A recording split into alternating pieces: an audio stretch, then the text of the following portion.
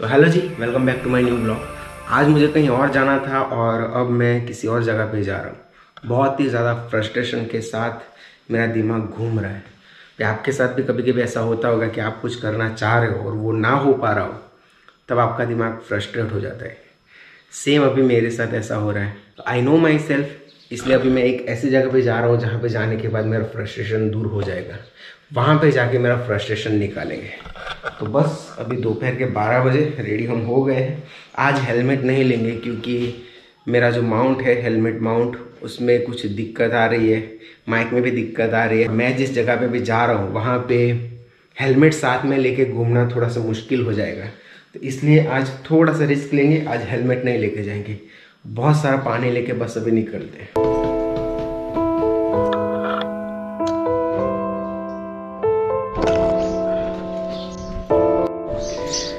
तो ये बेचारा कुत्ता हमारे गेट में फंस गया है। तो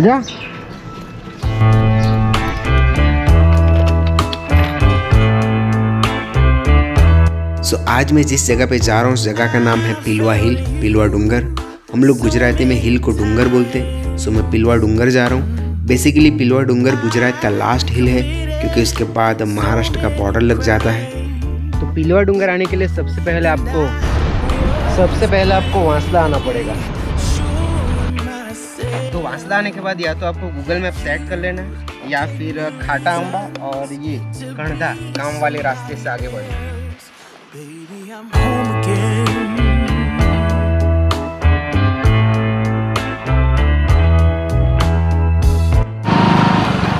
एक चीज़ की गारंटी है, ये रास्ता आपको इतनी खूबसूरती देगा ना, इतनी खूबसूरती आपको प्रदान करेगा कि आप जगह जगह पे रुकना चाहोगे बट रुकना नहीं है।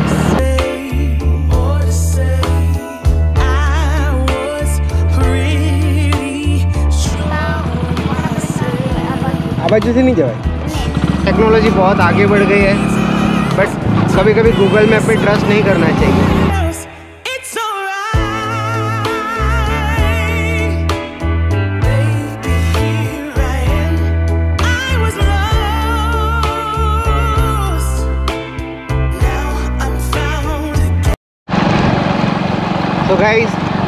पिलवा डोंगर बिल्कुल मेरे सामने है पिलवा हिल मेरे सामने है। उसकी ऊंचाई देख के ना ऐसे अभी फटने लगी है। वो देखिए। कैमरे में आपको छोटा दिख रहा है, बट कुछ ज़्यादा ही ऊँचा है। पिलवा डूंगर तरफ़ जतो रस्तो गाम चोरवाणी चोरवाणी सॉरी चोरवाणी तो आपको पिलवा डूंगर आने के लिए चोरवाणी गाँव में आना पड़ेगा। और यहाँ से जा रहा है रास्ता ऊपर। फिर बाइक जाएगी कि नहीं, ऊपर तक वो नहीं पता। पहाड़ काफ़ी ऊँचा है। लेट्स सी चलो, कुछ लोग ऊपर जा रहे हैं और इन्होंने मुझे बताया कि बाइक ऊपर तक जाएगी। अभी जो डर लग रहा था ना, क्योंकि यहाँ तक आने में मुझे तीन बज गए।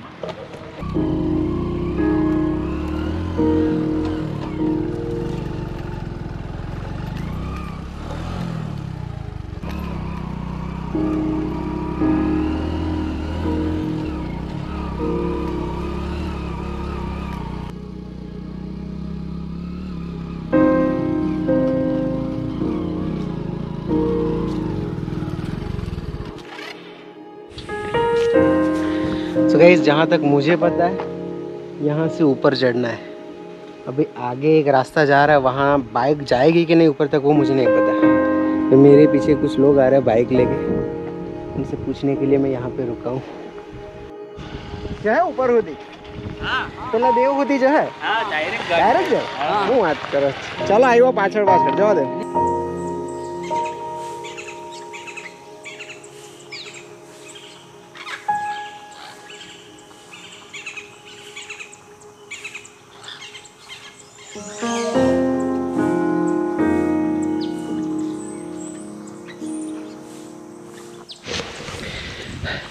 एक बात मुझे आपको बतानी है। अगर आपकी बाइक के टायर नए नहीं है, पुराने हैं तो यहाँ पे आप हंड्रेड परसेंट गिर सकते हैं। एनीवे मैं अभी उस भाई का वेट कर रहा हूँ, क्योंकि मुझे तीनों में से एक को रिक्वेस्ट करनी है कि मेरी बाइक चला ले और मैं पीछे बैठूँ ताकि मैं ऐसे ऊपर जाते हुए शॉट ले सकूँ ड्रोन से।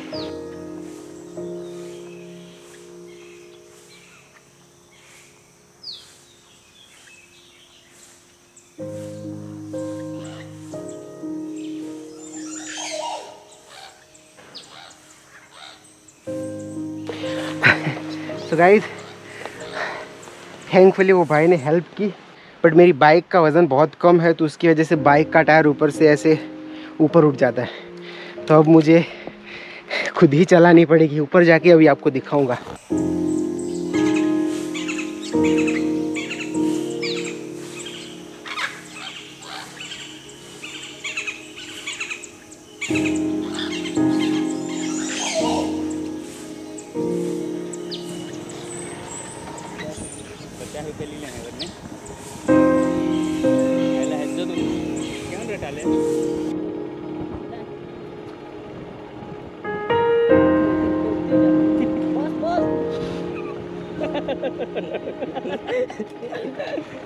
किया।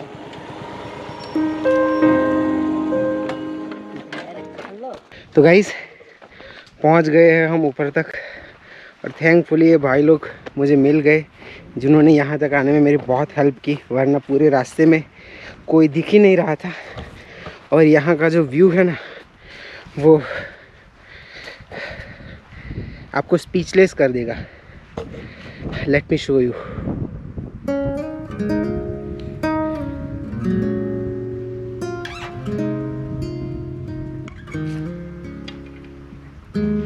ये टॉप व्यू है। ये भाई ने मुझे बताया कि वहाँ पे पानी का एक कुंड है। अगर आपको देखना हो तो यहाँ पे देख सकते हैं। और मेन अट्रैक्शन तो यही है। ये एक छोटा सा देव स्थान है इसको पिंडार देव बोलते हैं। और ये भाई ने मुझे बताया कि देव दिवाली के दिन यहाँ पे मेला लगता है। अभी देव दिवाली आने वाली है। मेला लगेगा।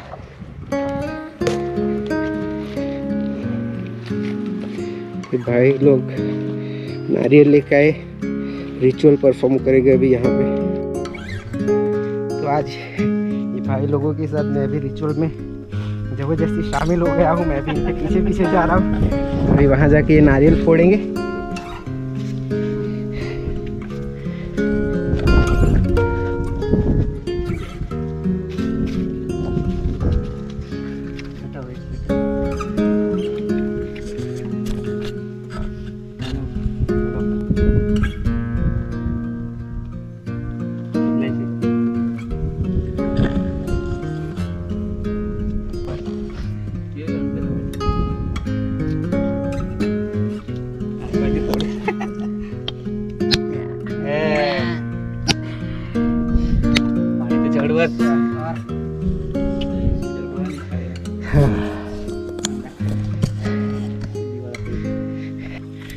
गाइज़ मैं जिस गाँव में बड़ा हुआ ना, वहाँ पे उस गाँव के लोकल्स के साथ मैं जाता था, ये सब रिचुअल परफॉर्म करने। और बहुत मज़ा आता था। हम लोग नाइट स्टे करते थे वहाँ पे।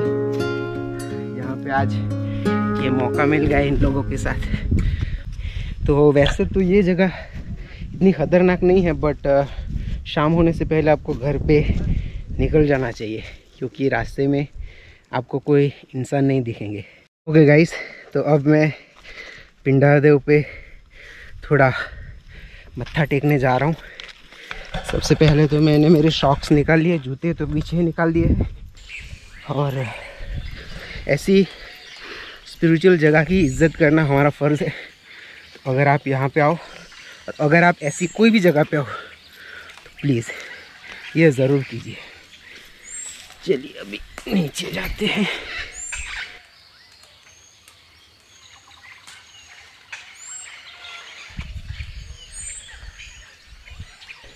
सबसे पहले मैं बस इतना बताना चाहता हूँ कि ये जो पत्थर है, वो ऐसे कैसे खड़ा है? आई डोंट नो ये देखिए, बिल्कुल एज पे खड़ा है। ये देखिए। तो गाइज़ आज मेरी जितनी फ्रस्ट्रेशन थी घर पे, वो बाइक चलाने में ही निकल गई। पूरा गुस्सा निकल गया। अब ना, अब इस जगह को अच्छे से देखते हैं। अब जो नेक्स्ट शॉट आएगा, वो ऊपर से आएगा।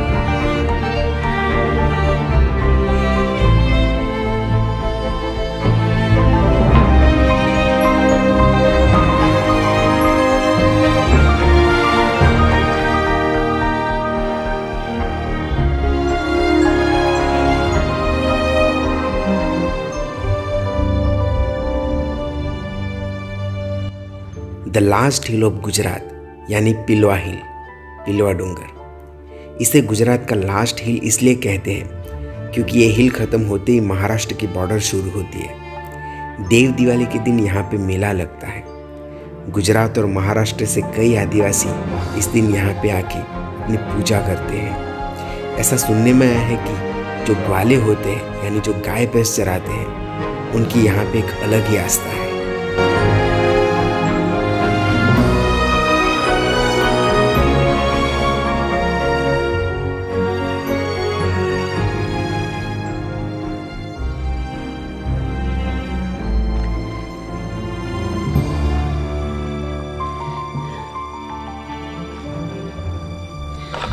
ओके गाइस तो अभी बजे शाम के पाँच और जैसे कि आप लोग देख रहे सूरज अभी डूबने वाला है और वो दो भाई लोग मुझे मिल गए फॉर्चुनेटली वरना मुझे अभी डर लगना स्टार्ट हो गया था क्योंकि यहाँ का रास्ता और ये जो एरिया है ना, पूरा जंगल है। यहाँ पे ज़्यादा कोई लोग दिखते भी नहीं हैं। मेरे साथ जो लोग आए थे, वो तो चले गए थोड़ी देर बैठ के। मैं बस ये ड्रोन शॉट्स ले रहा था, तभी ये लोग आ गए। तो उन लोगों के आने के बाद मैंने जी भर की इस जगह को एंजॉय किया है। तो यहाँ पे अगर आप आना चाहते हो तो यहाँ पे आने का बेस्ट जो टाइम है, वो मानसून है। मानसून में ये जगह की खूबसूरती एक अलग ही लेवल पे चली जाती है। बट स्टिल मुझे तो बहुत अच्छी लगी ये जगह। बस। चलिए, अब निकलते अंधेरा होने वाला है। रास्ता थोड़ा अनजान है। हमको दूर जाना है।